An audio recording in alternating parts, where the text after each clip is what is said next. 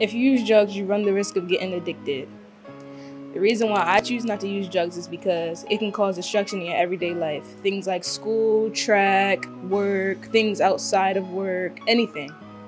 What's your reason why?